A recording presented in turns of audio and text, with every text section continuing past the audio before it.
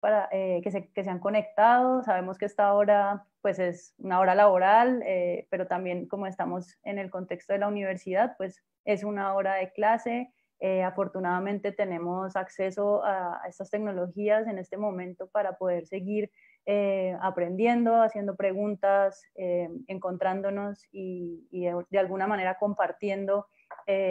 ideas sobre, justamente hoy vamos a compartir ideas sobre estas tecnologías que estamos utilizando y que nos han, entre comillas, salvado la patria pues en, tiempos de, coronavirus, en donde la universidad tuvo que de, de un día para otro casi eh, volcarse a una nueva forma de encontrarse con sus estudiantes. Y una de las que a mí me parece más interesante eh, que empecé a ver en varias universidades de Colombia es el tema de las clases abiertas y, eso creo que es una de las, de las cosas más lindas que, creo que tenemos que recordar de estos meses de cuarentena y es que las universidades decidieron abrir sus clases y hacer eh, partícipes a más personas de las discusiones y de los debates que muchas veces se quedan eh, dentro de los campus, ¿no? Entonces, eh, yo estoy muy contenta de poder compartir con ustedes un tema que me apasiona, que he venido trabajando durante ya muchos años que es lo relacionado a los derechos digitales, a Internet como un espacio de derechos humanos. Y hoy tengo la suerte de estar muy bien acompañada por colegas eh, que desde Perú han venido también trabajando como activistas digitales e investigadoras eh, en temas de, de, Internet, de tecnología y ese cruce, esa intersección que se da en este, en este medio, que es pues, el cruce con los derechos fundamentales. Entonces, la charla de hoy eh, voy a compartir mi pantalla. Eh, la charla de hoy la llamamos La salud de Internet en tiempos de pandemia y es una invitación que, que, hacemos para pensar también en si Internet se enferma, si Internet también, además de, de estar sosteniéndonos en este momento nuestras comunicaciones y nuestras interacciones con el mundo afuera mientras nos quedamos en casa, si, a Internet también le pasan cosas como enfermarse o si tiene salud o si tiene buena o mala salud. Entonces vamos a estar utilizando esa, esa metáfora, esa idea de la salud de Internet y para eso pues estoy, como dije, eh, acompañada de unas colegas que eh, quiero mucho y que respeto mucho, que trabajan desde Perú. Ellas son eh, María Eliv y Denise, que trabajan en una ONG que se llama hiperderecho y pues con ellas, eh, ellas ya nos van a explicar exactamente a qué se dedica hiperderecho, pero voy a leer rápidamente el perfil de María Elif, que es magíster en estudios de la mujer, trabaja en temas de salud y justicia reproductiva, violencia de género en línea y activismo, y actualmente tiene el cargo de directora de activismo de hiperderecho. Y Denise eh, es socióloga con especialidad en desarrollo internacional su trabajo se ubica en la intersección de género, justicia social y tecnología. Es directora de investigación de hiperderecho y con María Liv coordina el Centro de Autodefensa Digital Tecnoresistencia. Eh, como dijo Mauricio, eh, yo soy María Juliana Soto, soy eh, comunicadora social, magíster también en comunicación. me he dedicado a crear contenidos para proyectos que también están en una intersección entre comunicación y artes visuales y he trabajado en el campo de los derechos digitales en organizaciones como la Fundación Carisma en Colombia y actualmente hago parte de otros proyectos que están en esa línea de activismo digital y, y sobre todo ahora muy enfocado al tema de género. Entonces, bueno, nosotras vamos a estar guiando esta conversación y lo primero que les, que les quiero pedir a Marielí, pues además de agradecerles a Marielí y a Denise, además de agradecerles que hayan aceptado la invitación, es que nos cuenten qué es hiperderecho y que es ese trabajo eh, que a nivel local en Perú, pero también con un impacto regional han venido haciendo en los últimos, en los últimos años. ¿Qué tal, Juli? Bueno, muchas gracias eh, por la invitación. Eh, nosotras más que contentas de poder estar en este espacio y qué, qué bonito también lo que comentabas de, de, las clases abiertas. Este, me parece muy bonito, algo tan importante que, como dices, no debe pasar desapercibido, ¿no? Bueno, Hiperderecho es una ONG peruana que trabaja en temas de derechos humanos y tecnología. Entonces es una intersección que aboca muchos, eh, muchos temas y actualmente nosotros todos nuestros proyectos eh, se dividen en cuatro áreas de trabajo, tanto el área de investigación, de incidencia, donde estamos súper atentos como a las propuestas de gobierno que tengan que, que puedan interferir con nuestra, nuestra libertad, contra nuestros derechos en los espacios digitales. Tenemos el área de tecnología y el área de activismo, donde nuestro objetivo es poder conformar o apoyar a formar comunidad en Perú eh, de personas que estén interesadas por velar sus derechos en estos espacios digitales, ¿no? Y hace dos años, tres años, venimos trabajando toda una línea de género este, con la mirada de tecnología y derechos humanos también. Eh, y es así que, bueno, eh, publicamos el primer informe sobre violencia de género en línea en Perú hace ya, bueno, el 2018. Y a partir de eso tenemos Tecnoresistencias, que es este centro eh, de autodefensa digital para mujeres, feministas, activistas. Y Denise, no sé si ahí quieres agregar algo. Hola, ¿qué tal? Muchas gracias a Juli y a Mauricio por la invitación. Eh, solo para agregar de Tecnoresistencias que, que sí, que es un, es un centro que, que, sigue en construcción. Más adelante en la, en la conversación les vamos a contar, contar exactamente qué estamos haciendo, pero, pero sí, pero de hecho busca este balance entre generar nuevo conocimiento o generar conversaciones y debates sobre temas de género y tecnología, pero también tratamos de aliarnos con las comunidades que están viviendo esos problemas que estamos investigando para entender qué recursos o qué herramientas son las necesarias para poder hacer resistencia o para empezar a, curar a Internet, como, decía Juli.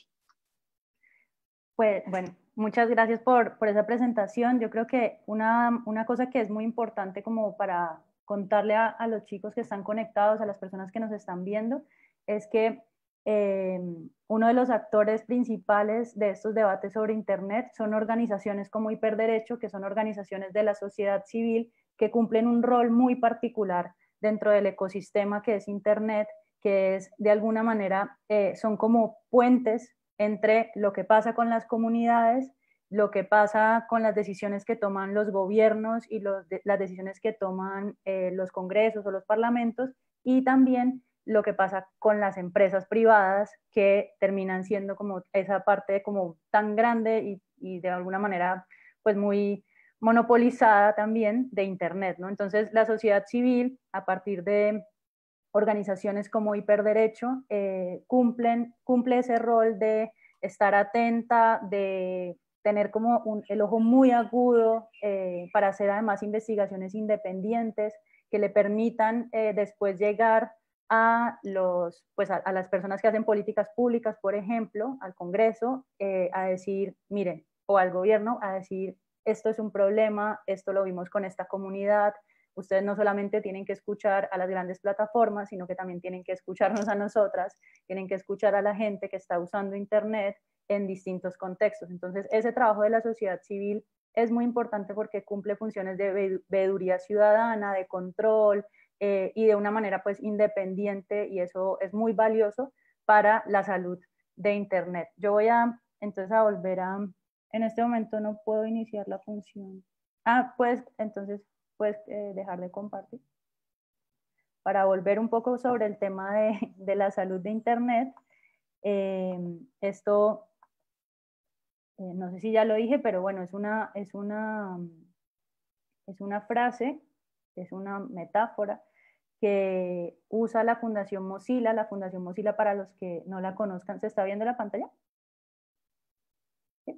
¿Sí? Para sí, Vale, para los que no sepan qué es la Fundación Mozilla, la Fundación Mozilla es la que eh, es la fundación que está detrás de algo que seguramente ustedes sí conocen, que es el famoso navegador Firefox y ellos tienen como misión, además de tener ese, ese servicio, ese producto que es el navegador eh, libre, abierto, que es Firefox, tienen una, una fundación que trabaja justamente por los derechos digitales, por la libertad en Internet, porque Internet sea un espacio abierto, participativo, eh, libre y que no esté solamente cooptado por grandes corporaciones eh, que al final terminan pues respondiendo a intereses particulares que no tienen en cuenta como Internet como un bien común. Y eso es lo que Mozilla, por lo que Mozilla trabaja, digamos, por Internet como un bien común. Entonces, eh, en el 2017 ellos eh, lanzaron un informe, que es un informe muy particular porque no mide como por países, ni, ni tiene como estos, estos índices como de en Colombia Internet no es saludable, no, nunca no va a decir eso, sino que a través de historias, a través de investigaciones, logran, lograron identificar unos temas para hablar sobre la salud de Internet. Porque para Mozilla, eh, Internet es un ecosistema. Para Mozilla y para muchas de las personas que hemos venido trabajando en, en temas de Internet y de tecnología y de esa relación tan fuerte que hay con los derechos humanos, porque si ustedes se ponen a pensar, en Internet estamos ejerciendo nuestra libertad de expresión, en Internet nos estamos educando, como en este momento estamos recibiendo clases, eh, entonces estamos eh, accediendo al derecho a la educación, en Internet eh, accedemos a la cultura, en Internet además hacemos transacciones bancarias, entonces es muy importante que exista una infraestructura sólida para proteger esas transferencias económicas. Hay un montón de cosas que hacemos en Internet hoy en día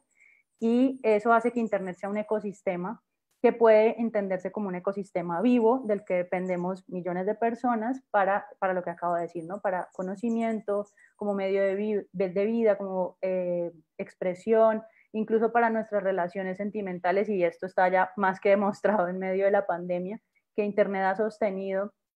eh, los lazos que tenemos con nuestras familias, con nuestros amigos, y justamente como en momentos de crisis como este, ha sido fundamental para, para mantener esa, esa comunicación con las personas que queremos, con las personas con las que trabajamos, con las personas con las que estamos conviviendo eh, y haciendo cosas todo el tiempo. Entonces, la salud de este sistema, dice Mozilla, depende e influye en todo lo que toca. Entonces, las señales de mala salud en cualquier parte de este ecosistema impactan en el todo.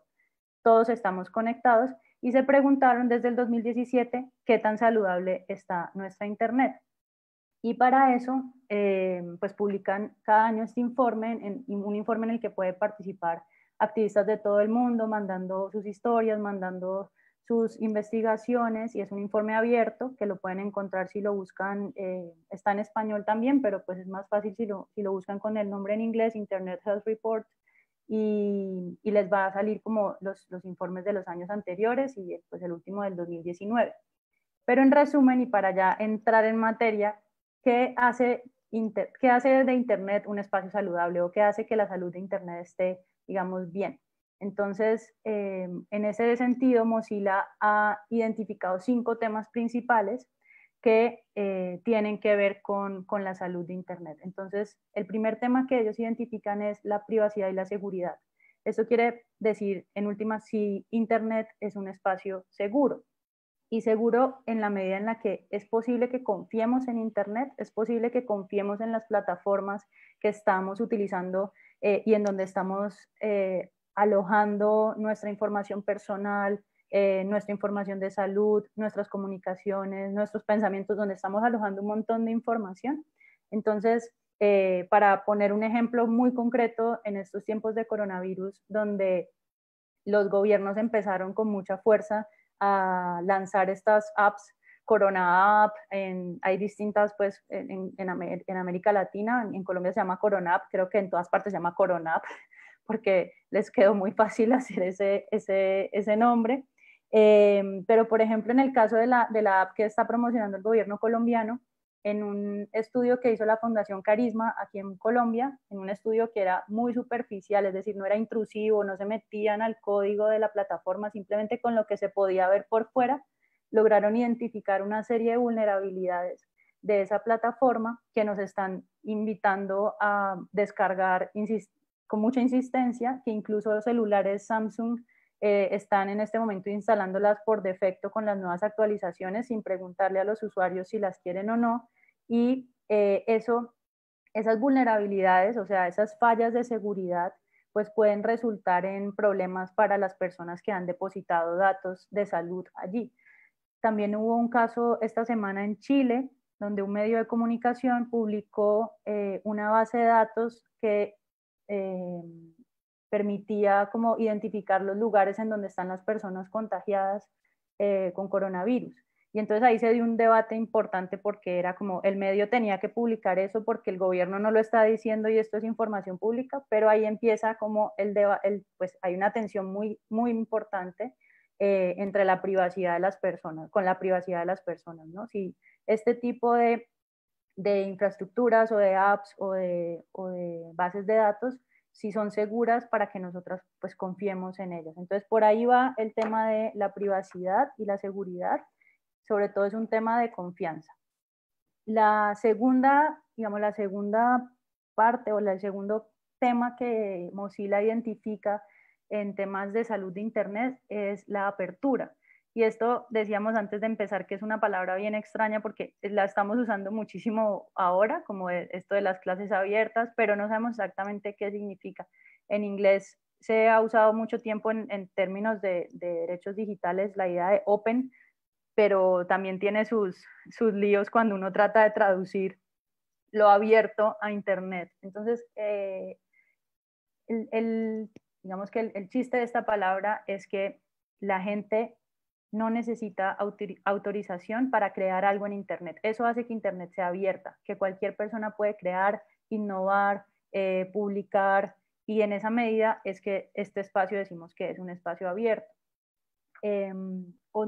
eso se complica o eso, ese, ese, ese tema de la salud de Internet se enferma, entre comillas, cuando vemos, por ejemplo, que los gobiernos censuran, que los gobiernos eh, apagan Internet, lo que se conoce como apagones de Internet, y, o, bajan la velocidad, que es algo que está pasando, por ejemplo, en Etiopía, que hay una campaña eh, de, activistas de Etiopía para que no bajen la velocidad de Internet, porque es como una cosa insufrible para ellos, pues no pueden utilizar Internet de una manera óptima. Eh, hay países en donde, por ejemplo, están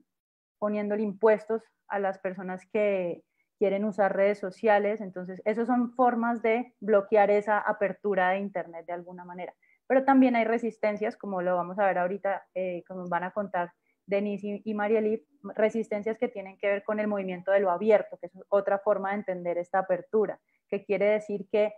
hay eh, una intención de que las cosas que pasen por Internet sean abiertas, disponibles, eh, descargables,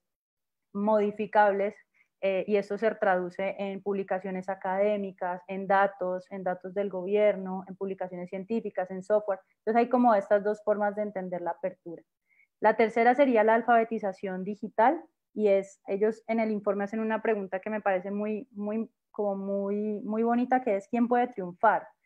Muy bonita para ponerse a pensar en, en si uno entonces entra a Internet con las mismas condiciones de todos los demás que están al lado. Y pues la respuesta es no. No basta con tener solamente conexión, no basta con tener un equipo. Hay una serie de herramientas que son necesarias para poder triunfar, entre comillas, o para tener una participación activa, para tener una participación significativa en un espacio como Internet. Entonces, aunque ya en el 2018 eh, el 50 por, más del 50% de la población estaba conectada a Internet, todavía eh, nos falta como trabajar mucho más en temas de alfabetización para que todo esto que sucede en Internet sea recibido por los usuarios de una manera crítica para que no caigamos en redes o en, estas series pues, de fake news, para que la gente pueda comprender qué es lo que pasa en Internet, se necesita alfabetización digital. Eso hace que Internet sea saludable. Si tenemos conocimiento sobre lo que está ocurriendo y podemos tomar distancia, podemos elegir, podemos criticar, podemos debatir eso que pasa por internet y no, pues no necesariamente nos lo tragamos entero. La cuarta, eh, para ir terminando esto que se alargó un poco, es eh, ¿quién, eh, ¿quién, es bienvenido. Entonces, esa, esa, pregunta también es muy importante porque también pensamos que, ah, vale, todo el 50% de la población está conectada, entonces eso quiere decir que todos estamos en las mismas condiciones o que todos podemos ser bienvenidos, que todos estamos incluidos dentro del ecosistema de Internet. Y resulta que hay tecnologías que se están desarrollando y que no están incluyendo a todos. Hay un caso como que a mí me parece que ilustra muy bien este problema de la inclusión y es el, tema de los algoritmos que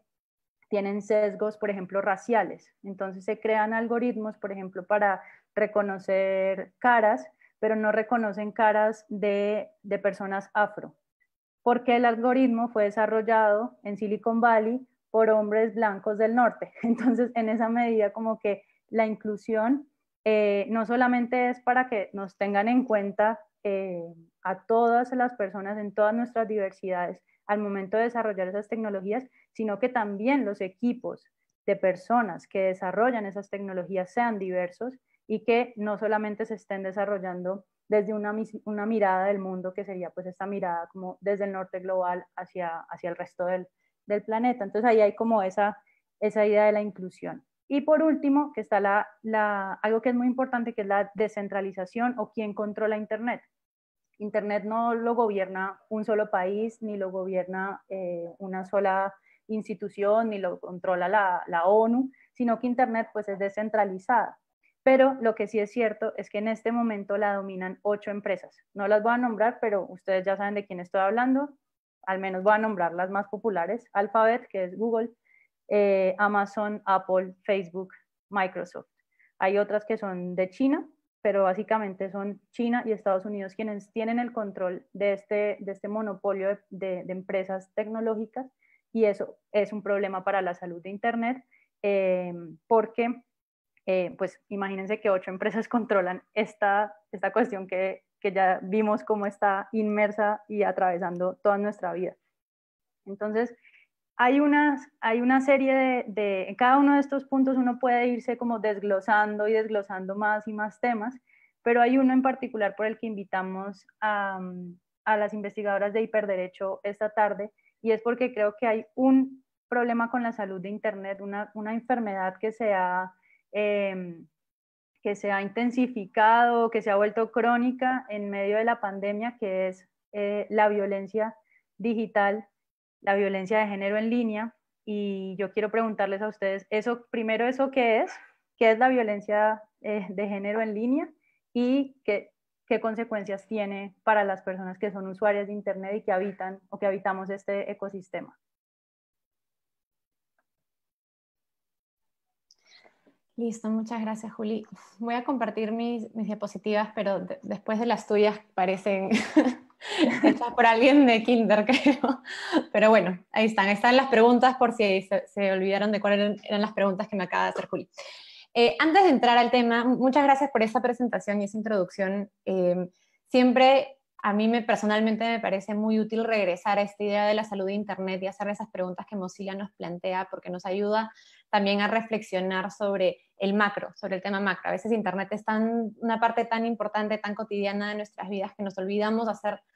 eh, estas preguntas tal vez más políticas y creo que es una muy buena introducción para entender por qué tenemos que investigar o por qué tenemos que hablar de, de violencia de género en Internet. Un punto al que aludiste un montón es esta idea de que Internet no es un espacio o como, como tú y Mozilla lo plantean, no es un ecosistema neutral. Muchas veces pensamos que lo que pasa en Internet, porque son unos cables, este, porque es una conexión de Wi-Fi, es algo neutral, que no es ni bueno ni malo, pero en realidad como decía Juli, es un ecosistema en el que estamos todos interactuando, en el que estamos conviviendo y por lo tanto va a reflejar las mismas relaciones de poder o las mismas relaciones de desigualdad que encontramos en la sociedad. Esa es como una, una primera idea en la que de la que nosotras partimos para hacer este análisis sobre la violencia de género en Internet. Si cuando estamos fuera de nuestra computadora salimos a las calles, nos encontramos con acoso callejero, con diferentes formas de acoso, acoso sexual, en relaciones amorosas hay mucha violencia sexual, violencia psicológica, ¿por qué no estamos cuestionándonos de qué manera esas violencias también se han trasladado al espacio donde más tiempo pasamos en realidad, sobre todo ahora en el contexto de la pandemia es muy relevante tener esta conversación. El 80% de nuestro tiempo estamos conectadas y muchas veces no nos estamos planteando estas preguntas, ¿no? Sobre quiénes realmente tienen el poder o cuáles son las normas que están rigiendo eh, las interacciones que estoy teniendo, ¿no? Y en ese sentido, para curar Internet, como tú decías, no hay que tener necesariamente una mejor conexión o tener un mejor servidor, más bien tenemos que mirar lo social, tenemos que eh, enfocarnos en tal vez identificar cuáles son esas enfermedades sociales que se están reproduciendo, se están amplificando por, lo que, por las características únicas de la tecnología y de paso cuestionar cuáles son esas condiciones o las normas sociales, técnicas, legales que permitan que esas enfermedades se difundan. Y siento que, de nuevo, lo estoy repitiendo, pero es el mejor momento para tener esta conversación porque tenemos tanto en la cabeza la idea de la pandemia, esparciéndose, difundiéndose, qué puede hacer el Estado, qué podemos hacer nosotros, qué pueden hacer las empresas, que en realidad es una metáfora muy apropiada para también hablar de violencia de género en Internet. Em, entonces, eh, también es, es, un tema interesante si, por ejemplo, hay personas que están escuchando esta clase que sienten que el Internet, tal vez saber de Internet no es lo suyo, que lo usan, pero que el tema de privacidad de datos personales o seguridad digital no es algo que, que necesariamente les interesa, así eh, como les nació leer sobre eso. Es interesante pensarlo desde el punto de vista más social, porque mientras más nos cuestionemos quién controla nuestros datos, quién puede estar conectada, o esas preguntas que nos planteaba Juli, ¿quién se siente seguro en Internet? ¿Me siento representada? ¿Me siento bienvenida? ¿Puedo triunfar? ¿Puedo realmente lograr lo que yo quiero lograr en Internet? Sintiéndome libre, sintiéndome segura. Es que ahí de repente empezamos a notar estas brechas o estas desigualdades y podemos empezar a imaginarnos una Internet diferente. ¿Cómo se vería un Internet que se rija bajo nuestras reglas, que priorice mi seguridad, que priorice mi libertad y cuáles son las barreras que no nos está permitiendo llegar a ese Internet, ¿no? Entonces, eh, para regresar al tema, la violencia de género en Internet, ¿no? Eh, ¿Qué es? Es tal como suena cuando se usa las tecnologías de la información o de la comunicación, Internet, redes sociales, celulares, correo electrónico, ustedes ya saben cuáles, para ejercer alguna forma de violencia de género. Entonces, para darles algunos ejemplos, cada vez que alguien nos acosa, cada vez que alguien utiliza discurso de odio machista o misógino, cada vez que alguien roba la identidad de nuestros perfiles en nuestras redes sociales, cuando consiguen el acceso no autorizado a nuestros dispositivos, cuando se difunden o se viralizan las imágenes íntimas eh, que hemos compartido sin nuestro consentimiento, probablemente estamos frente a un caso de violencia de género digital. Se usó la tecnología para vulnerar alguno de nuestros derechos o para hacernos sentir de alguna manera particular. Entonces, el primer paso para identificar si se trata de un caso de violencia de género en Internet es empezar a identificar cuál es el objetivo, cuál es la intención detrás de, este ataque o de, esta interacción que acabo de tener. Nosotros hemos enmarcado tres, pero pueden haber más. Eh, el primero, un primer objetivo puede ser tratar de controlar nuestra vida en Internet. Eh, que alguien trate de, por medio de la tecnología, controlar con quién podemos interactuar, qué fotos podemos subir, cuándo podemos eh, eh, estar conectadas y cuándo no. Eso es lo que también en el mundo que hablamos de violencias, de violencias digitales se, se llama acecho o puede también acercarse al acoso, cuando una persona está usando la tecnología para restringir nuestra libertad y se está, digamos, aprovechando de estas características que ahora tenemos en las redes sociales, de saber quién está conectada, quién este, podemos poner nuestra ubicación, nuestra geolocalización. Entonces son de repente herramientas que han sido creadas con otro propósito, pero esta persona que nos quiere hacer daño las está usando para controlar algún aspecto de nuestra vida. Entonces el control o la intención de ejercer control puede ser un primer objetivo que nos puede ayudar a identificar estas conductas. Un segundo objetivo eh, puede ser la idea de silenciarnos o de callarnos, ¿no? De cada vez que usemos Internet para expresar nuestras opiniones políticas, sociales, cuando queramos em, buscar o, expresarnos sobre algún tipo de, de, evento que está pasando y recibimos discurso de odio a cambio o amenazas o acoso o, como les digo, algunos de los ejemplos anteriores, nos roban la identidad después de que escribimos un artículo, eh, nos hackean o hay un acceso no autorizado a nuestro dispositivo después de que publicamos una opinión eh, controversial o disidente. Ahí es claramente el objetivo de la persona que nos está agrediendo que dejemos de publicar. El mensaje que nos están mandando es cada vez que tú te pronuncies sobre, en el caso de la investigación que hicimos en Hiperderecho, encontramos que cada vez que alguien se pronunciaba sobre igualdad de género, sobre derechos sexuales y reproductivos, sobre eh, los derechos LGBTIQ de la comunidad peruana, eh, los derechos de la mujer, inclusive cada vez que alguien se pronunciaba sobre uno de esos temas, encontraba una ola de, discurso de odio o de violencia digital que apuntaba justamente a silenciar o callar a estas personas que se estaban pronunciando. O sea, busca la autocensura de esta persona o censurar a esa persona. Y un tercer objetivo idea de ya excluirnos o eliminarnos de este espacio. Entonces, como ustedes ven, es como, una, como un violentómetro que puede ir subiendo en gravedad o en intensidad, pero la idea de excluirnos es, es muy poderosa porque tal vez em, puede ser muy fuerte el ejemplo, pero la idea eh, de un feminicidio, tal vez como en, el mundo físico pensamos en la idea de eliminar a una mujer o eliminar a una persona, por una, sobre la base del género se replica también en el mundo digital con otros matices ¿no? y con otras características. Busca una muerte digital, que tú dejes de existir en ese espacio, que dejes de pronunciarte, que tu identidad ya no esté presente. Y finalmente son espacios que también son nuestros, ¿no? La idea de, que hablaba también Juli de, de una Internet abierta, democrática, que nos pertenece a todas y a todos, donde todos tenemos los mismos derechos, a partir de esos ataques empezamos a ver que no necesariamente es así, que sí hay desigualdades que se rigen más por normas sociales que existen en Internet, eh, en este caso de violencia de género, eh, normas basadas sobre el género, estereotipos basados sobre el género, que finalmente terminan limitando nuestros derechos o nuestras libertades. Terminamos intimidadas, humilladas, dañadas, excluidas de estos espacios.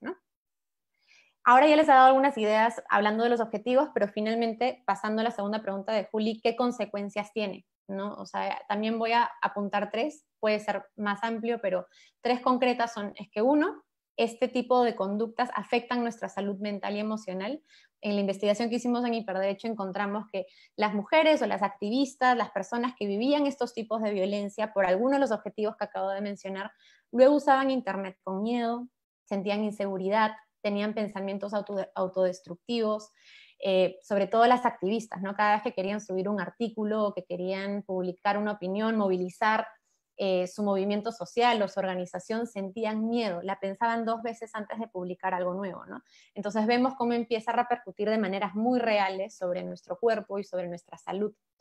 Em, en segundo lugar, algo que ya mencioné, limita nuestra libertad, lleva la autocensura,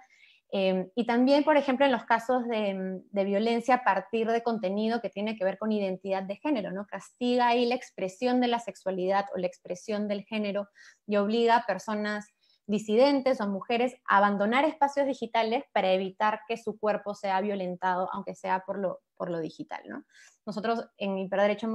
hemos estado, llevando varios casos en los que el acoso o el acoso sexual a veces inicia a partir de una foto y es común que las personas que han recibido este acoso nos digan, bueno, es que fue mi culpa porque yo subí la foto. Entonces seguimos replicando estas mismas nociones que vivimos en el espacio físico o el espacio offline de si es mi culpa, eh, perdón, si yo me visto de tal manera, es mi culpa que me acosen, o si yo me pongo una falta, falda, por lo tanto voy a vivir violencia. Entonces vemos cómo se replica la misma dinámica como decía al comienzo. Y finalmente, em,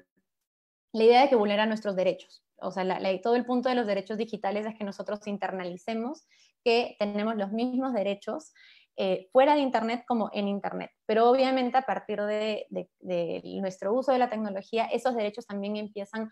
a cambiar o empezamos a ver que ciertos derechos em, a los que antes no les prestábamos tanta atención empiezan a cobrar relevancia, como el derecho a la privacidad, por ejemplo, el derecho a la intimidad, el derecho a la libertad de expresión, em, que ahora cada vez que usamos Internet para todas las cosas que dijo Juli, son cada vez más, los sentimos cada vez más esenciales, ¿no? Entonces, este, para cerrar un poco la idea, y estoy abierta a cualquier pregunta eh, sobre cómo identificar la violencia de género en línea,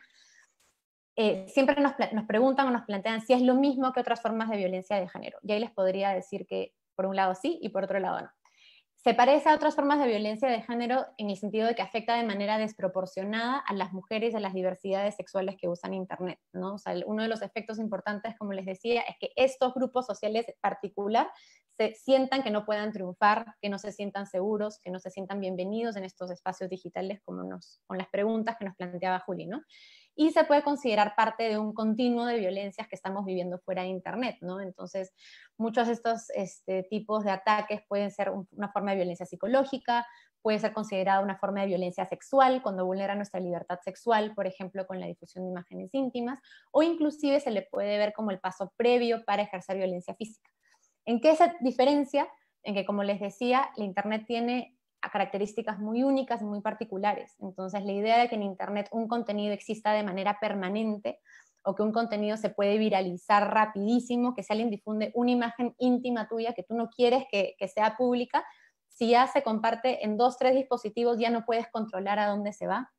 El hecho de que la gente pueda operar de manera anónima hace que las agresiones eh, sean aún más impunes de lo que ya son igual en el, mundo offline. Entonces, estas características únicas hacen que la violencia digital sea distinta, sea eh, un fenómeno que tenemos que aprender a reconocer, aprender a observar y también aprender a, mm, como idearnos y ser creativas sobre cómo podemos responder a los nuevos desafíos que nos presenta que la violencia de género ahora se haya trasladado a, a espacios virtuales. Mauro, ¿cómo vamos con nuestro público? ¿Bien? Estás muteado. No te escuchamos. No, por ahora no tenemos, por ahora no tenemos preguntas y pero bueno, ya yo creo que les va, yo creo que es que todos estamos aprendiendo muchísimo. Ya tenemos vamos para adelante. Vamos, está buenísimo, no, pero por seguro que les, les, les vayan, vayan, una pregunta vayan anotando preguntas que, que, también pasa que yo creo que no, a todo el mundo que cuando está explicando el tema en el que lleva años trabajando, pues le, se le ¿no? Como que se le va su discurso eh, de una manera muy fluida, como le acaba de pasar a Denise, y, y uno queda como, como, tengo que tomar muchas notas para que esto pues. se me olvide. Y pues yo quería seguir como la conversación con, con ustedes, especialmente como aterrizándola a, a este contexto de, de pandemia eh, en el que están pasando cosas particulares eh, no solamente con, con, el uso de Internet, sino que seguramente ustedes nos pueden decir qué está pasando entonces en términos de violencia de género en línea, porque en, el, en la medida en la que estamos pasando más tiempo en Internet, tú decías que 80% más o menos del tiempo estamos conectados, eh, pues en esa medida seguramente también eh, se han, ocurrido como cambios en esas cifras o en, en, en, esos, en esos análisis que se pueden hacer de la violencia de género eh, tristemente creo que las noticias no, no, deben ser muy alentadoras, ¿verdad? Así como no fueron en el mundo offline, que a las, a las pocas semanas de haber empezado el confinamiento ya las secretarías de la mujer y los ministerios pues que están eh, a cargo de, este tipo de, de, analizar este tipo de violencias, pues dijeron que había un, aumento en los reportes de llamadas por violencia intrafamiliar y me imagino que ustedes nos pueden ampliar un poco como sobre qué es lo que está pasando eh, en este momento.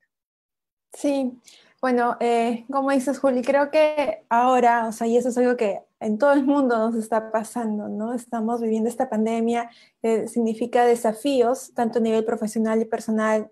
de todas las personas, ¿no? Este, sí es importante, creo, recordar que ahora, en este momento de nuestra historia, posiblemente todas las personas tenemos esta gran palabra que es salud como puesta en la cabeza, ¿no? Que antes no, no, no, no lo solemos priorizar. En cambio, ahora todo el tiempo estamos pensando en cómo estamos de salud, cómo están nuestros seres queridos en salud y todo esto. Creo que también no tenemos 100% esta claridad de preguntarnos cómo estamos en salud, cómo nos sentimos, cómo estamos viviendo el espacio digital. Eh, también es muy lógico, bueno, al menos en el caso de Perú, que ya llevamos, no sé, que si ya dos meses, ya he perdido mucho la cuenta, en, en cuarentena, en estado de emergencia. Esto hace que, bueno, obligatoriamente las personas nos quedemos en casa, ¿no? Eh, bueno, en la, en la, medida que sea posible también. Y esto eh, sí hace que estando en un contexto violento, eh, machista, patriarcal, como es en muchos de los países, lamentablemente de Sudamérica, pues las mujeres nos veamos confinadas a, estar, a compartir el mismo espacio que compartimos con posiblemente nuestra, la persona agresora, ¿no? Entonces, sí ha habido, en el caso de Perú, se ha reportado eh, casos de llamadas a la línea 100 para reportar violencia, para reportar violencia física, violencia sexual, pero también, y esto es una cifra que creo que aún no somos muy conscientes, de muchos casos de intento o violaciones sexuales a niñas, niños o adolescentes. Eh, y ojo, estamos hablando dentro de casa, ¿no? Porque estás ahí, o sea, no, no estás saliendo, no, el peligro no está afuera en la calle cuando hablamos de violencia de género en, género, en general, no estás dentro de tu casa.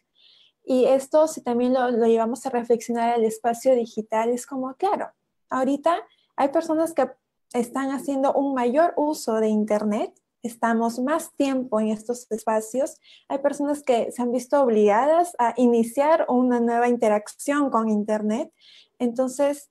estamos, o sea, esta comunicación es real, esta, esta conexión, este intercambio de información es real, está pasando ahorita. Y así como depende también de las necesidades que tengamos, a través de Internet podemos mantenernos ahorita informados, eh, mantener contacto con nuestros seres queridos, eh, buscar información, etc. Sin embargo, eh, el que estemos más en este espacio sí refuerza lo que decía Denise hace un ratito, que se puede estar potenciando situaciones de violencia de género en línea. ¿no?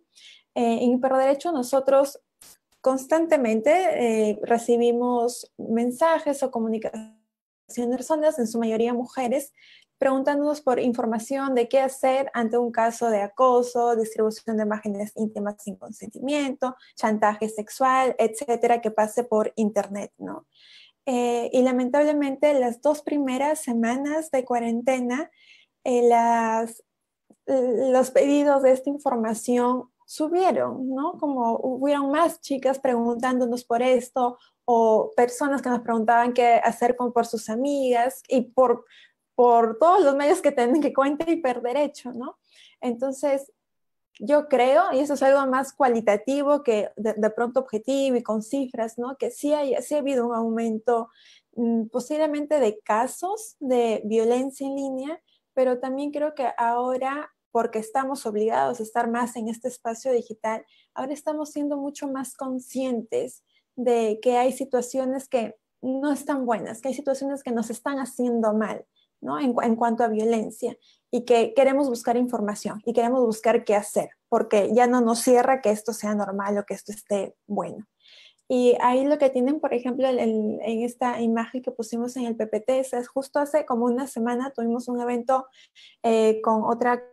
colega chévere que se llamaba El Retorno del Ex porque empezó también, empezamos a conversarlo y empezamos a ver comentarios y demás de que había muchos casos donde la expareja de alguien podría volver a escribirte, podría volver a querer contactarse contigo y la otra persona no quería esto, no estaba interesada, ¿no? Y ahí vamos viendo otra vez estas relaciones de poder donde alguien quiere como obligarte a que mantengas contacto, alguien quiere otra vez este, no sé, o sea, no, romper este vínculo o volverlo a entablar cuando uno no desea. Y ojo, aquí también es muy importante tener en cuenta que esto, si bien puede suceder en cualquier momento de la vida de una persona, está sucediendo en un contexto donde también es un gran desafío el tema de salud mental para todas las personas, ¿no? Y como a veces eh, relaciones tóxicas puede intentar a una persona de encontrar ahí un huequito para entrar y retomar esta dinámica que cuando uno ya no lo quiere, pues es un no y no debería haber espacio para más, ¿no? Entonces, creo que sí, estamos haciendo un mayor uso de Internet, por lo tanto estamos mucho más tiempo, mucho más conectadas en este espacio y esto lamentablemente hace que las violencias en línea pues puedan aumentar o también podamos identificarlas más rápido de pronto. Sí, hay algo que yo quería compartirles que vi hace un par de días eh, en el perfil que tenemos de acoso en línea, que es un proyecto que, pues, en, el, en el que yo participo, eh, acoso online, eh, que busca darle información a las mujeres que son víctimas de, esta, de este tipo de violencia de género, que es compartir imágenes íntimas sin, sin consentimiento, también llamada eh, porno venganza o bueno, como que tiene varios nombres, pero la idea es esa, ¿no? Que ya la hemos descrito aquí cuando se comparten imágenes que no, sobre las que tú no habías dado ningún consentimiento más que a la persona a la que se la habías mandado en principio. Pero eso se confunde o tiende a confundirse y ahí volvemos como al tema de tú te tomaste la foto, entonces tú eres responsable de que eso ya se, sea un problema, ¿no? Porque es lo mismo de tú saliste en falda a las 10 de la noche a caminar, era, es tu problema, es tu responsabilidad que te pase algo. Entonces en Internet está pasando exactamente lo mismo y en, en, en, un contexto de pandemia donde la gente está encerrada, donde no hay posibilidades pues como eh, tan reales de encontrarse con otro, pues el aumento también de eh, contenido sexual en Internet ha sido exponencial y eso también hace que muchas, pues que exista una vulnerabilidad mayor para, para las personas que pues violan ese contrato de confianza, ¿no? Eh, para las, víctimas de las personas que violan el contrato de confianza, que es eh, compartir una imagen íntima es eh, establecer ese vínculo de confianza y cuando tú lo rompes, pues no solamente rompes esa confianza, sino que cometes un delito. Entonces, pero tenemos que tener mucho cuidado entonces con, con censurar y con decirle también que es un, discurso que va especialmente dirigido a las mujeres, con el censurar la posibilidad de, encontrar en Internet también una forma de expresar la sexualidad y de explorar la sexualidad. Entonces, eh, estaba viendo que tan solo en Twitter la cantidad de contenido íntimo compartido eh, ha incrementado un 384% en el contexto del COVID. Esto lo publicaron el 29 de abril. O sea, 384% cuando llevamos un mes de cuarentena. Y ahí es donde hay que tener como esa, esa mirada que afortunadamente tiene muy clara la sociedad civil en el no vamos a condenar el sexting, no vamos a decirle a las mujeres que no sexten ni que no compartan con las personas que ellas quieran eh, su vida sexual a través de la tecnología, em, porque eso sería pues censurarlas, decirles qué hacer, infantilizarlas, bueno, tendría un montón de consecuencias, que es un, un discurso que pues, es muy complicado eh, pero también no podemos desconocer entonces que hay que fortalecer mucho la salud de Internet eh, para que esas expresiones pues estén protegidas, para que no, esta, esta violencia que se incrementa eh, justamente por ese intercambio pues no siga aumentando como, como está aumentando y como aumenta además la violencia también offline.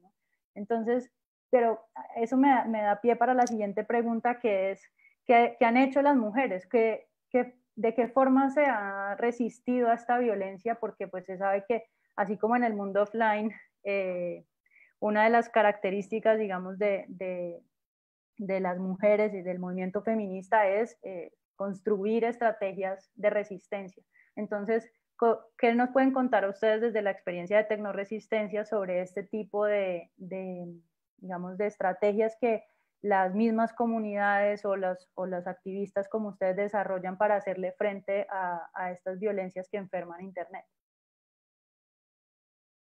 Em, bueno, ¿cómo, ¿cómo, empiezo la parte de la resistencia? E, es interesante hablar de resistencias porque involucra también una relación de confianza entre hiperderecho y las activistas o las personas con las que estamos como colaborando para poder eh, crear estos recursos, ¿no? Para refrescar un poco la memoria de lo que dijimos al comienzo, Tecnoresistencias es el Centro de Autodefensa Digital que creó Hiperderecho como un repositorio donde podíamos juntar todos los recursos que una persona podría necesitar para eh, hacerle frente, defenderse o identificar a la violencia de género eh, en Internet o la violencia de género digital. Y el centro tiene tres pilares importantes. El primer pilar es identifica, que es el pilar en donde nosotros tratamos de publicar recursos para que las personas puedan hacer lo que acabamos de hacer en esta charla, como hablar un poco de ya, cuáles son las características, cuáles son los tipos más comunes, qué es lo que me puede pasar si recibo uno de estos ataques. Y ahí yo creo que el informe que realizamos, este, que contó Marieli en el 2018 fue muy útil porque nos ayudó a abrir la conversación. Ahí la resistencia no es tanto Hiperderecho felizmente tuvo los recursos para hacer esta investigación y este informe, sino la resistencia ocurrió cada vez que íbamos y teníamos una conversación sobre lo que habíamos encontrado y se creaba un nuevo espacio de debate en el que las personas y las mujeres podían expresar cómo se habían sentido o que se sentían que faltaba ponerle más énfasis, por ejemplo, lo que tú decías, Julia, que ponerle más énfasis a la sexualidad libre en Internet, porque eso es lo que más me está afectando. O hay que ponerle más énfasis a eh, lograr eh, definir muy bien qué es acoso, porque las personas piensan que es, lo, que es algo normal. Entonces, enfoquémonos en sexualidad y en acoso. Y ahí esas prioridades que iban surgiendo en las conversaciones son las que realmente guían el trabajo. Eh, el informe es más que nada una excusa para nosotras poder como tener esta conversación y seguir ampliando la conversación junto a, a nuestras aliadas. En el pilar de Resiste está todas las conversaciones sobre privacidad y seguridad digital, ahí lo que hemos estado haciendo es juntarnos con activistas eh, que quieren operar de manera anónima, pero también de manera segura, para tener conversaciones críticas sobre cómo me puedo proteger, cómo yo puedo autogestionar mi propia defensa en Internet. Y acá es muy importante lo que tú dijiste, Juli, esta idea de no usemos la violencia en Internet para responsabilizar nuevamente a las víctimas, decirles, ah, bueno, tú estás viviendo violencia de género, pero también tienes que aprender sobre privacidad, tienes que cuidar todos tus datos personales, tienes que tener el celular y la computadora más segura y ahora de nuevo es tu responsabilidad, tienes que invertir tu tiempo, recursos, energía en aprender algo que no sabías, en tener una computadora que no tenías, etcétera, etcétera, para que puedas estar segura. O sea, nuevamente no queremos que se siga difundiendo esta narrativa de hay estas condiciones para que puedas disfrutar de Internet. Entonces, por medio de la fila, de la columna de Resiste, del pilar de Resiste, queremos justamente problematizar la conversación sobre seguridad digital y más bien plantearla como una estrategia de, para reapropiarnos del espacio, para que por medio de la seguridad digital podamos plantear cuáles son nuestras reglas de, juego, ¿no? y no solamente vivir en Internet bajo las reglas de los demás, sino también bajo nuestras reglas. Y finalmente en el pilar de denuncia, está lo que están viendo en la diapositiva, notamos que había una urgencia muy fuerte de parte de las feministas y las activistas en Perú, que es sobre conocer sus opciones legales. Y en Perú tenemos la, suerte que ya es delito la violencia en Internet, o al menos el acoso, el chantaje sexual y la difusión de imágenes íntimas. Pero eh, muchos de los avances que se han logrado a nivel legislativo han sido gracias a la movilización de movimientos sociales feministas que han estado impulsando estos cambios y que han estado, no solo una vez que se logran los cambios, han estado difundiéndolos y compartiendo toda la información sobre, sobre exactamente cuáles son tus opciones a, nivel legal. Entonces, este, nosotros no anticipábamos que ese iba a ser un pilar tan fuerte de resistencia, pero la verdad es que difundir información sobre cuáles son tus opciones, cómo recoger evidencia digital para que sea considerada como válida y legítima cuando vas a la comisaría, eh, dónde tienes que denunciar, qué tienes que poner en la denuncia, todos esos detallitos, crean o no, ha sido, se están convirtiendo en herramientas de resistencia porque, ¿qué es lo que pasa? Uno de los casos que hemos recibido, eh, nos enteramos que esta chica fue, trató de denunciar, le dijeron que habían tomado la denuncia y ni siquiera estaban tomando denuncia, a pesar de que ya era delito que el acoso en línea y ella había vivido justamente eso, no tomaron su denuncia, probablemente por barreras sociales que que crean impunidad en los otros casos de violencia de género, ¿no? Pero entonces esta información legal muy específica, muy concreta, se está convirtiendo en una herramienta de resistencia porque le da el poder a las personas de decir, no, estos son mis derechos, puedo ejercerlos porque sé cómo hacerlo, ¿no? Entonces, eso es al menos lo que estamos haciendo desde Tecnoresistencias, pero siempre en colaboración con las activistas y las comunidades con las que nos hemos aliado y también siempre dirigido por las prioridades o las necesidades más urgentes de, esas comunidades. No sé, Mavi, si tú quieres agregar algo también de, desde el otro proyecto de Mujeres que Resisten. Sí, este, para aportar, o sea, más o menos siguiendo la línea con lo que decía ya Denise, eh, Tecnoresistencia nos ha abierto nosotros las puertas para ver cómo seguir trabajando, ¿no? Y no tanto en función de lo que hay, pero derecho se le ocurrió hoy día, sino como dice Denise, que es muy, muy, muy importante en verdad el trabajo que tenemos es gracias en colaboración y con apoyo de los activistas, de las mujeres, de la comunidad LGTBIQ, de, que, que vienen trabajando ya desde hace mucho tiempo, ¿no? Y esto sí, por ejemplo, como dentro de, de en esa línea de tecnoresistencia, de entender cómo la tecnología, este, desde un enfoque de género, también se va desarrollando es que eh, con, con, el apoyo de Fundación Ciudadanía, este, que es una organización de Chile, hicimos esta investigación con activistas peruanos, peruanas, eh, que se llama Mujeres que Resisten, donde usamos un poco de la información que, perdón, el sonido, donde usamos la información que levantamos en Tecnoresistencias que, como dice aquí, las mujeres enfrentan eh, grandes obstáculos para acceder a justicia, ¿no? Desde que uno quiere ir a denunciar, en esta investigación pudimos entrevistar a dos personas que habían iniciado una denuncia por este tipo de violencia y nos dimos cuenta que el camino de ir, a ir a la comisaría, hablar con un policía, enfrentan tantas barreras que simplemente la violencia que uno sufre al inicio pues se sigue perpetuando, ¿no? Y va teniendo otros matices. Y ahora no solamente por parte de una o un grupo de personas, sino también por representantes del Estado, del gobierno. sí hay un proceso muy grande también de revictimización en, en todos estos casos que finalmente llevan a cosas que ya sabemos, que es como que nos desanimemos en denunciar, que la pensemos mil y un veces, ¿no? Que, dudemos de nosotras mismas, que dudemos si esto está bien, esto está mal. Entonces, esto es todo el sistema como legal y de justicia que tenemos acá es como si está en nuestra contra cuando queremos obtener algo de, de alivio o algún tipo de respuesta. Eh, con tecnoresistencia, y lo confirmamos también en esta investigación, vimos que las personas que sufren más o que están más expuestas a violencia de género en línea vienen a ser las mujeres, la comunidad LGTBIQ, mujeres de origen indígena o afro, y en general las activistas feministas y defensoras o defensores de derechos humanos y derechos de las mujeres, ¿no? Eh, sobre todo esto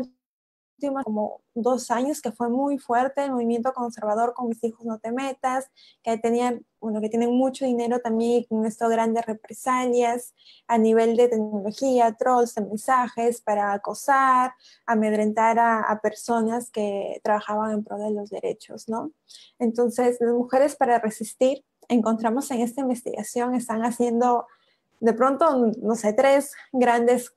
pasos o, decisiones, ¿no? Uno, como decía Denise, es buscar información. Queremos estar informadas, queremos saber cuáles son nuestros derechos y queremos saber cómo movernos con esto. Lo segundo es que a nivel de tecnología, ok, con esto sé que ahora puedo reportar en estas páginas, ¿no? Que, que Internet no es un espacio como sin leyes, no, tenemos sus derechos, entonces podemos reportar y también podemos ir a denunciar, puedo ir a la comisaría, puedo ir al Poder Judicial, hacer mi denuncia. Y lo tercero que es súper importante, eh, encontramos que las redes de apoyo, los grupos de apoyo entre mujeres o entre personas que enfrentan esta violencia es de suma importancia. Pasar por esta violencia es real, tiene consecuencias muy grandes, como ya explicaba Denise. Entonces, más allá se decida denunciar o no, porque es un proceso largo, la violencia en sí, vamos a necesitar de apoyo de otras personas de confianza. Y eso es algo sumamente importante, es algo que no se puede comparar a nada más porque es algo que te va a poder sostener hasta que podamos pasar la página de esta violencia. ¿no? Ahí es cuando uno se da cuenta de realmente de que las cosas que pasan en Internet, uno, ni son neutrales y dos, están muy conectadas con el mundo offline, porque al final una cuestión, una violencia, una situación que viviste en línea, tienes que ir a gestionarla a una comisaría, tienes que enfrentarte con todo el sistema conservador eh, que, pues, que bloquea sistemáticamente el sistema de la justicia en estos casos. Y ahí es donde uno se da cuenta realmente de que esa intersección de la que hablamos al principio entre tecnología y derechos humanos está es, es real y sucede pues en, nuestros contextos eh, con unas características que no solamente afectan, eh, nos afectan en, en, cuanto a violencia de género, sino en, realidad en todas las otras problemáticas que existen en nuestro contexto latinoamericano cuando tenemos que trasladar un problema o denunciar un problema y llevarlo hacia, hacia un lugar como el Estado o la policía o cualquier ente judicial. Yo sé, Mauricio, que ya nos volamos de tiempo, pero nos falta una cosa muy importante. Entonces, ¿podemos seguir? Tenemos un, par de minutos más. Lo que hemos tenido es un buen, hemos tenido por acá ese movimiento, sobre todo en nuestra transmisión en Twitter. Tenemos comentarios de estudiantes del programa. Por acá nos escribió bueno, Sofía 23, que está muy contenta con el tema de las clases abiertas y que ese tema pues, de salud del Internet le llama poderosamente la atención, sobre todo el concepto. Fernanda Ginás, estudiante de comunicación, por acá tuitea, está retuiteando con el resumen que estamos haciendo de lo que ustedes están hablando. Sé que tristemente los acosadores logran hacer todo esto en la virtualidad porque no hay consecuencias, porque no se sabe quién es, o sea, que logra este objetivo con más, con más facilidad. También Mariana Purecio, acá eh, te sin comentar, sé por lo general los acosadores en línea buscan lograr una o, esas, una o tres de estas características. Tristemente es cada vez más común durante la pandemia, los cinco que hablaba, tema de silenciar tus opiniones, de controlar tu vida en Internet y demás. Ya también acá estamos, por ejemplo, haciendo encuestas en Twitter sobre, sobre pues, contenido que se ¿verdad? Entonces acá tenemos bastante interacción, porque la gente sobre todo más en Twitter se está, se está moviendo. Entonces, pues tenemos yo creo... A las personas que están siguiéndonos por Twitter, eh, es una, uno de los canales donde creo que los movimientos de, de resistencias y de activismo digital ah, tiene mucho eco. Entonces, pues muchas gracias por estar haciendo eh, esta por estar compartiendo la información que, que estamos eh, generando acá en esta plataforma. Y por último, pues yo lo que digo que no nos podemos ir sin que nos cuenten sobre, eh, sobre COVID 1984, que es el proyecto de hiperderecho en este, en este contexto de pandemia, que reúne, entiendo que reúne pues parte de las reflexiones que ya nos han compartido aquí sobre el tema de violencia de género, pero que se amplía para ser como una especie de observatorio, ¿no? Como de lo que está pasando con los derechos digitales en Perú en este momento. Y pues trae eh, de nuevo esta, esta gran eh, referencia que es pues 1984, la novela, la novela de George Orwell, eh, que instaló, digamos, en la opinión pública la idea del gran hermano y, y la vigilancia que hoy es más que evidente que no, no es ninguna ficción, eh, sino que es nuestra, nuestra realidad y es una, una realidad que tenemos que eh, ver con ojos muy críticos, eh, sobre todo cuando se toman decisiones en momentos de crisis como este, como yo mencionaba al principio, los gobiernos están promoviendo apps que significan un control muy importante de la población y tenemos que tomar la decisión si vamos a dejar que estas, estas aplicaciones y estas tecnologías pasen y se instalen en nuestra vida, cosas que además son pensadas desde un momento particular de emergencia, tienden a quedarse instaladas eh, después de, de, de que se acabe la emergencia. Y ahí es donde hay que tener mucho cuidado porque tal vez lo que hace mucho sentido en estas semanas en un año o en dos años no tiene por qué estar funcionando y resulta que se nos olvida y siguen funcionando estos sistemas de vigilancia que controlan los datos de nuestra salud, que no sabemos exactamente eh, quién eh, tiene la potestad de esos datos, esos datos con quién más se comparten, cuánto tiempo se guardan. Y ahí es otra de las, digamos, de las, de las cosas que enferman a Internet, si se quiere, es esta vigilancia masiva, desproporcionada, que no tiene estándares de derechos humanos y que, y que hace que Internet pues no sea segura para que no podamos confiar del todo en estas, en estas plataformas porque al final no, no son transparentes con nosotros y terminan pues afectando nuestros, nuestros derechos eh, en, en, Internet. Entonces, cuéntenos por favor brevemente, invítennos a explorar eh, COVID 1984 y, y, pues así ahí las dejo para que, para que presenten el proyecto. Gracias, Juli. Sí, de hecho, o sea, el nombre nació con esta idea que tú decías, ¿no? Como del libro, pensando en vigilancia, en 1984. Este, y claro, COVID-19, y con la idea también, como tú dices al inicio, hay un montón de aplicaciones que se están dando por todos lados con esta idea de pronto buena, ¿no? Importante de ver cómo podemos hacer este enlace de tecnología, salud, prevención, este, pero no siempre estamos pensando, o quienes lo desarrollan estas aplicaciones, no están pensando en todos los seres que se ven involucrados cuando uno piensa, voy a hacer esta, esta aplicación para que en este mapa me diga dónde están el gran porcentaje, no sé, de personas infectadas, por ejemplo, ¿no? En el caso de Perú tuvimos esta aplicación y luego como se cambiaron el, las condiciones cuando uno entra, ¿no? siempre que descargas una aplicación te dice cómo están usando tus datos, qué se está haciendo, qué vas a encontrar aquí, toda esta información se cambió después de un tiempo, no podías acceder a esta información, entonces cosas que quedan como en una zona gris de que no sabes qué está pasando y lamentablemente no todas las personas podemos entender o reconocemos siquiera que es importante tener esta información, ¿no? Y no es culpa tanto de las personas usuarias, sino también del gobierno que finalmente está presentando esta aplicación como una solución o como una ayuda a. Entonces, eh, bueno, COVID 1984 eh, lo que hace es una recopilación de nuestros análisis que hacemos tanto en cinco temas, de privacidad, desinformación, género, tecnología y cultura. Entonces, tenemos estas cinco áreas, digamos, de cómo vamos analizando ya sea cosas a nivel de aplicaciones que salieron en Perú o de leyes que aparecen o de cómo podemos estar analizando ciertos temas, ¿no? Por ejemplo, algo que pronto queremos escribir también es, en Perú desde que inició la cuarentena, los días, empezó a decir, por favor, las personas deben hacer un uso responsable de Internet. Y eso implica como no descargar o hacer videollamadas en horas puntas, sino hacerlo entre las 6, de 8 de la, 6 de la noche y 8 de la mañana, o no uses mucho, no, no te conectes tanto a Internet para darle prioridad a los médicos que lo hagan y cosas medio como que ambiguas, porque, a ver, que yo no se ahorita no, no significa realmente que un médico lo vaya a estar haciendo, ¿no? Que de alguna manera sí limitan nuestro accionar libre que tenemos en Internet. Entonces, que algo que puede parecer como tan sencillo, de pronto por atrás está recogiendo un montón de lineamientos que finalmente pueden llevarse a políticas públicas, como bien sabemos que en nuestros países hay una idea de pronto va,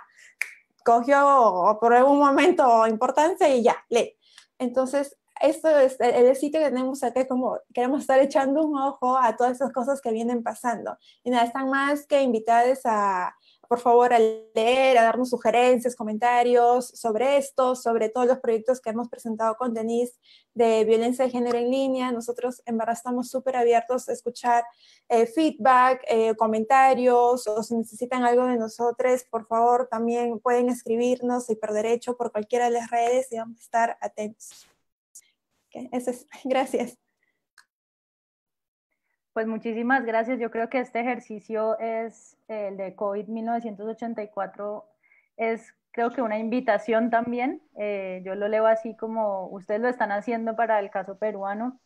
eh, pero yo creo que desde la academia también tenemos que eh, tomar estas ideas y, tratar de organizar también que mucha gente estaba generando contenidos y está haciendo el ejercicio, pero de pronto no, es, no sabemos dónde está quedando esa información y tratar de enmarcarlo de pronto en un observatorio como este, eh, yo creo que puede resultar muy útil, es algo que podemos hacer como desde, desde nuestras carreras también eh, para poder como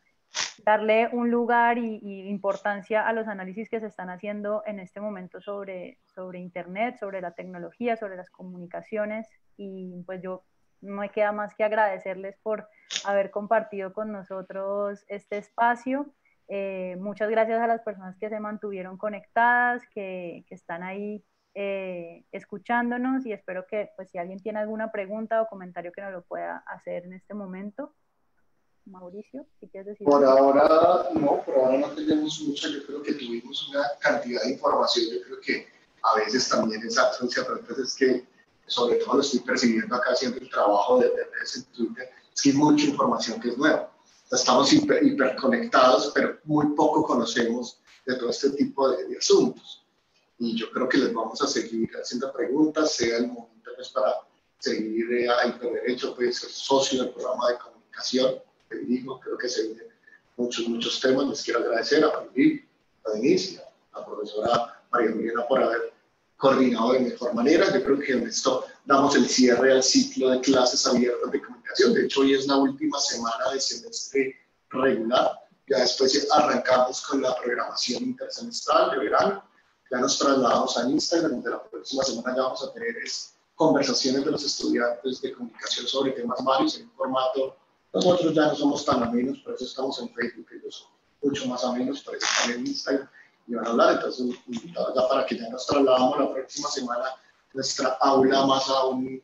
café a Instagram. Entonces, agradecerles a toda la audiencia que nos acompañó. Por ahí está el profesor Tomás Lombana, Jorge Díaz, la profesora Julia Díaz, que también estaba ahí, que también estuvo participando regularmente con sus estudiantes del curso de eh, cultural y demás. Y pues bueno, chicos, después muchas gracias. Espero que todo siga, pues, que todas las cosas pues traten de ir de la mejor manera en Perú, país que quiero mucho, que he tenido la oportunidad de visitar,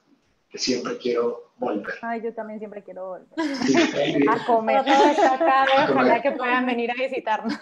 Muchas gracias a ustedes.